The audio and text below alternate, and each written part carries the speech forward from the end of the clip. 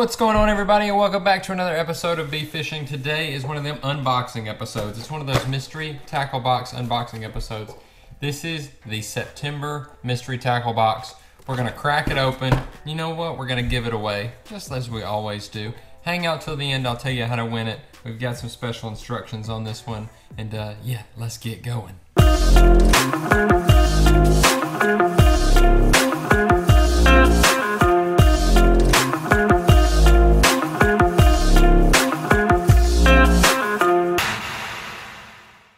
Me take a second to introduce myself. My name is Brett and I run B Fishing. And every month I give away a free mystery tackle box, just like this one that we're about to unbox. Um, I'm actually giving away this one, just as I do every month. I unbox it, I'll tell you how to use all the stuff in it. Um, my initial takes on the box. Uh, it's the first time seeing it with you guys. And uh, then we give it away. I'm not sponsored by Mystery Tackle Box in any way. This is something that I pay for out of my channel's budget that we have every month and uh, just something nice to do. Um, if you want to win it, there will be instructions at the end along with the date and how I select my winner. So hang out, let's uh, flip the camera around, let's open this thing up. Uh, let's not waste any time here, let's go. Alrighty, so let's take out the old handy dandy box cutter and let's cut this thing open and see what we have in our September 2019 box for Mystery Tackle Box. This is obviously is the Bass Pro Edition. So let's see. Um, here are the baits in there. It looks like we got a Bagley Bossa wake bait. Okay, a Yappa Frog, Biospawn Exo Ribbon. That's that new Exo Ribbon that just came out this month. First off, oh yeah, it's the uh, it's a wake bait. It's like he's riding it. You know how them wake baits work. They uh, jerk side to side and uh, get get the fish going a little bit. I like it. So let's start off in order uh, with the Bagley Bossa wake bait. And that's gonna be this guy right here. So it's about to turn fall. We're right at the tail end of summer. You guys up north are already in it. These wake baits, these top water baits, if you can get them when the shad's running, I love the sexy shad pattern. You know, you got your darker blue at the top, white bottom, a little bit of chartreuse there. This is gonna catch you fish, I'm telling you. And early in the morning when those shad are still like running near the top of the water, they haven't been pushed back up in the creeks yet. Um, yeah, you're gonna catch some fish on this. The top water bite is for the most part gonna die here in the next couple months. So take advantage with this wake bait. It just, I mean, it just resembles a shad running across the top of the water. One cool thing about this, the Bossa Wake 1 was exclusively designed for Mystery Tackle Box customers, made from super light Balsa wood. Um, yeah, I mean, that's pretty much it. So this is an MTB exclusive. So that's pretty cool to have in the box. And again, I love that pattern on it. It's your, your typical sexy shad, uh, which I mean, we all know catches fish, right? Let's go on to the next one. Let's go to this Lunkerhunt Yappa Frog. Uh, this is in black. Again, what's the belly look like? The belly is white with a little bit of chartreuse. Again, with all of these top water baits, okay? Who cares what the top looks like? Fish don't see the top. This is for the fishermen. Always check out the bottom. And uh, I can dig that. A little bit of chartreuse. It's actually more natural to have that color on the bottom of a frog. Um, now this, basically, what Lunkerhunt did, they came out with these about a year ago and uh, it resembles very much a jitterbug. I mean, y'all remember the old school jitterbugs? That's basically what this does, except it doesn't have as tight of a, uh, a wobble as a jitterbug. It's more got a walking action. I mean, it's weedless, unlike your Bossa wake bait. So if you get it in the cabbage, you can definitely get this thing out and you can walk it. It walks naturally with that popping action on the front of it. Um, again, jitterbug style, but it's not gonna have as tight of a wobble as jitterbug, but it'll definitely get bit. I'm a pretty big fan of the Lunkerhunt topwater stuff. I think the hooks are pretty stout. Um, I can't really feel this, but if it's like anything like the other Lunkerhunt stuff, super, super soft hollow body there, so your uh, the hookup ratio is gonna go up. So I definitely like this. Um, you can see what they're what they're doing here. You're getting the top water for those shad runs, and if the fish are still in that cover, the cabbage a little bit, which they will be for a little while longer. Um, but as that stuff starts to die off, your grass, your lilies, as they start to die, the fish will move out of them. So if you're gonna fish this, definitely find the greenest, the absolute greenest patch of grass to throw this over that you can, because before we know it, um, the fish will have moved out of that stuff. Up next is the Biospawn Exo Ribbon. And everybody on this channel knows I am a huge fan just like any of you should be. I mean, the ribbon tail on a worm is probably the most deadly worm ever created. it just it just flat out catches fish. It's one of my favorite ways to fish in the summer because it's so versatile. You can flip it. Um, if you want to put it on a Texas rig, you can put it on a shaky head. You can put it on a Carolina rig. Biospawn, which is a Catch Co company, Biospawn always has these ribs on it, which, I mean, let me tell you something. All the Biospawn stuff is amazing in my opinion. It's pretty, I'm not gonna open this because it's, it's, it's sealed. I don't wanna open it and ruin it for you guys. The plastic on this stuff is uh, usually pretty, pretty soft. Number one, I think this is a great color too. The black with the red mixed in is gonna be killer. It's, it's your red shad black. Um, I'm a big fan of all the reds, like red bug on a ribbon tail, um, as well as your watermelon reds. Anything that's got a little bit of a hint of red in it, just for, for whatever reason, actually we know the reason, um, catches fish. So in this, the transition from summer to fall, your dock fish, the ones that were under those docks for, uh, you know, the shade, are now going actually going to get on those pylons real, real tight in an ambush position. So what I would actually recommend if you're going to throw this, if you want to flip it at it, put a lighter weight on. Don't put your heavy like quarter ounce weight. Go with almost like an eighth or even a 16th uh, Texas rig and flip at those pilings. So if you can get on a dock pylon and have it basically hit right beside it and slowly sink and give that tail time to flutter on the way down, you're gonna catch those fish that are that are hugging that structure. That's the way I prefer to fish this on a Texas rig, but you can definitely Carolina rig this and it's gonna catch them if you're still fishing that offshore. The offshore bite on those rock piles or any kind of offshore structure, Carolina rig's the way to go with this thing.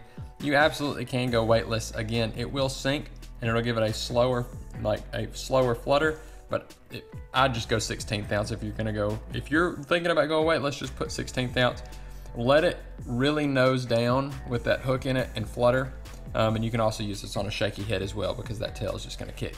This is, I mean, we all know ribbon tails work. I'm just happy Exo, uh, the uh, Biospawn, I keep wanting to say Exo Swim, Exo Ribbon because I use the Exo Swims by Biospawn so much.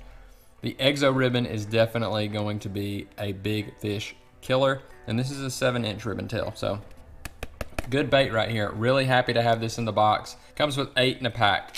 I could have probably done with more, you know, Zoom with their U-tails come with like 20 in a pack. But hey, I'm not gonna complain. I'll always take more ribbon tails. Up next, we have the Big Bites Baits Cane Thumper, which is gonna be this guy right here in a lovely, lovely shad pattern. Nice, nice little area right there where you can conceal the hook if you wanna fish it with a uh, weighted hook, or you can even Texas rig the thing. Um, so here's what's about to happen again, in this transition, I told you what happens to those dock fish, how they're gonna get closer to pylons. Told you what's gonna happen with the, uh, the grass fish that have been underneath the grass, hanging out in the grass and hanging out in those lilies. As those start to die, they're gonna, you know, go find the only living piece of grass left. They're gonna hug to that living piece of grass until they finally push off um, and go out in open water. You're gonna have, with the ribbon tail, you're gonna have your dock fish that really, really hug the pylons a lot tighter. Not for the shade anymore so much as, as it is an ambush position.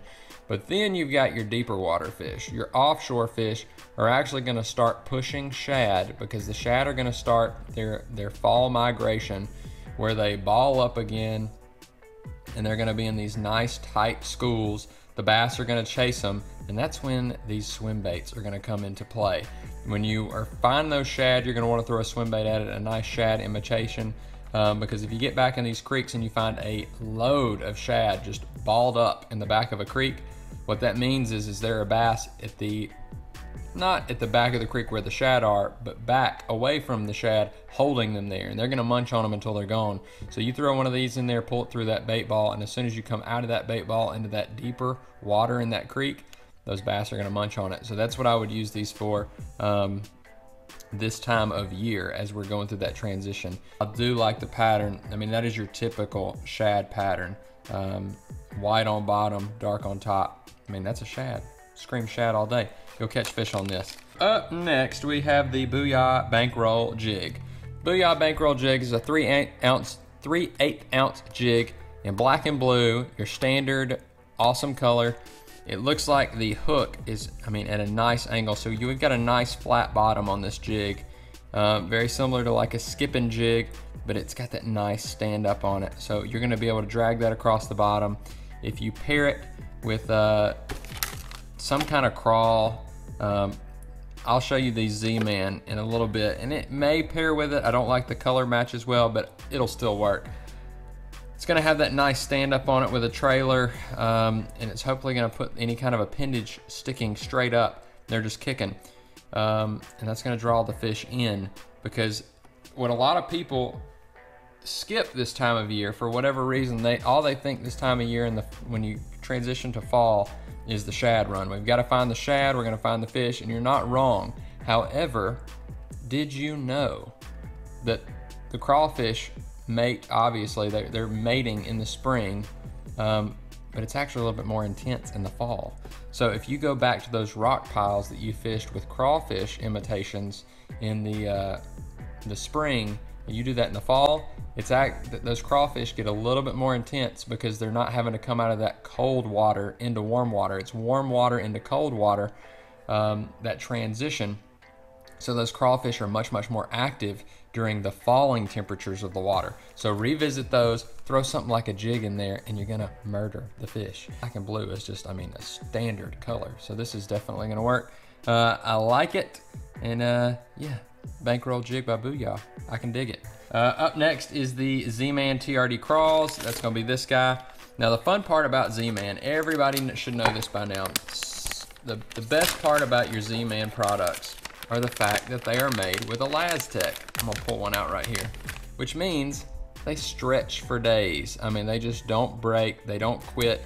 It can be a little annoying when they get stuck on a hook, especially like a hook saver.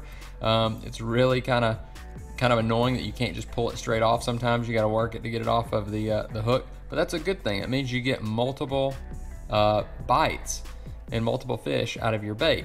The other fun thing about ElaZtech is it floats.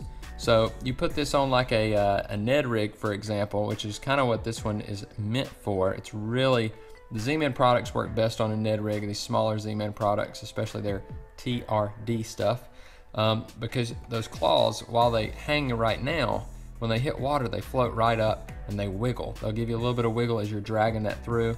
Um, not really a huge fan of this color, this bloodworm color, uh, but as it sinks down, I think that color will darken up on you, um, just the way the water and light uh, change colors as you uh, a bait sinks to the water.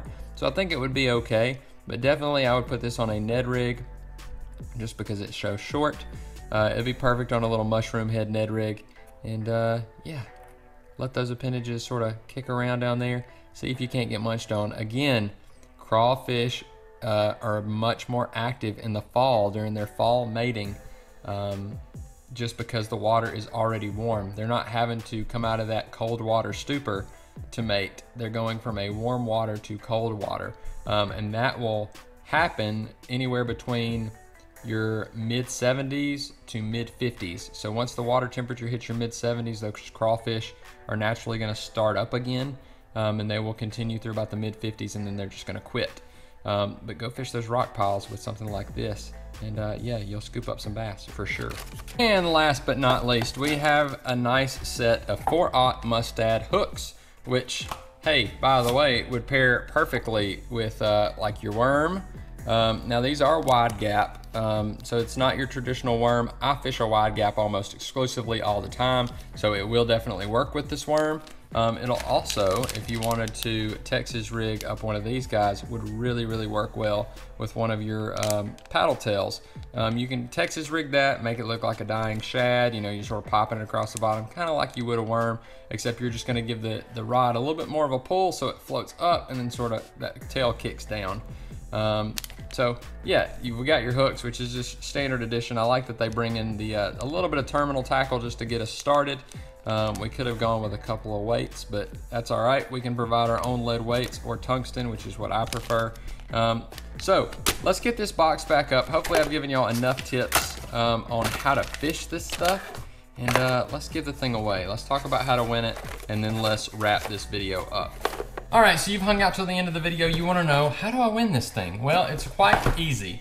So I'm gonna give you a week from today. So I'm gonna put the date right here that you have to enter by. It's gonna be noon on this date. You have to do these things by to win this box. All you gotta do is be subscribed. So hit the red subscribe button. It should be over here. Uh, turn it gray. If you want to, hit the ding dong notifications. That's not a requirement. That is a choice by you. Those ding dongs, a little bell right there. If you hit the bell, all it does is notify you anytime I drop a new video. And we got some pretty good ones, I think. Number two, uh, hit the like button. It's really simple, right over here. Hit that like button too. Um, and last but not least, you gotta leave a comment. Two parts to the comment. Number one, what are you most excited about in the box? What gets you fired up about this box and makes you wanna win it? What do you think your favorite bait is? And the second thing, you gotta leave a hashtag. Hashtag B fishing. Very simple, not doing any kind of thing crazy. You don't have those two things in the comment, that's that's the requirements. You gotta have hashtag B fishing and you gotta tell me what your favorite lure in the box was. Outside of that, uh, thanks for watching. But other than if you want to if you want to win it, you gotta do those uh, four things, I guess. Leave a comment with two parts to it. Like, subscribe. Yeah, that's it. I think it's gonna do it. Again, I'm pleased with the box. I mean, it's got several really, really good baits in it that I know are gonna catch fish, and a couple that I don't have in the arsenal yet that uh, I kind of want to get in the arsenal and give it a go, which is the whole point of Mystery Tackle Box. So I hope you guys enjoyed it. We will catch you on the next one. Later.